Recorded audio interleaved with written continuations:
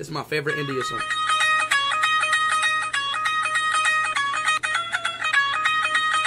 Hey, hey, get it, get it, get it, get it, throw it up. I know it. That's Punjabi. Throw it up, throw it up, throw it up.